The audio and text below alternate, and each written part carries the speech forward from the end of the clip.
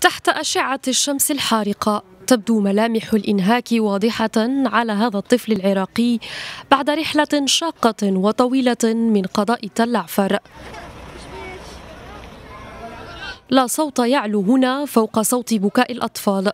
صوت يكاد يتحول إلى أنين رتيب في ظل الحرارة المفرطة وانعدام أدنى شروط الحياة. تمام. ليس لدينا ماء نشربه. غالبية الأشخاص يستهلكون مياها غير صالحة للشرب.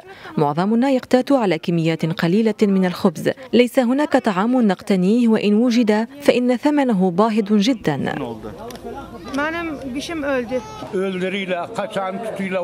كانوا يقتلون الناس ويحاصرون كل من يحاول الفرار ويطلقون عليهم الرصاص.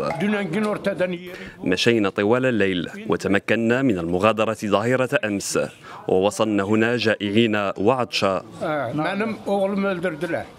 عناصر الشرطة الاتحادية يعملون هنا على تأمين النازحين في انتظار توزيعهم على المخيمات ومراكز الإيواء وتوفير الخدمات الأساسية لهم. معاناة النازحين يتقاسمها هؤلاء بعيدا عن أهلهم وديارهم.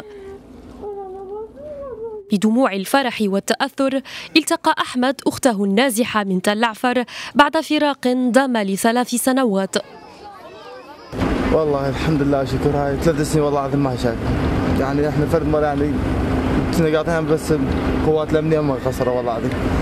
بارك الله بهم بوجودهم إن شاء الله. الله يرحم والديهم إن شاء الله. أنت وين كنت؟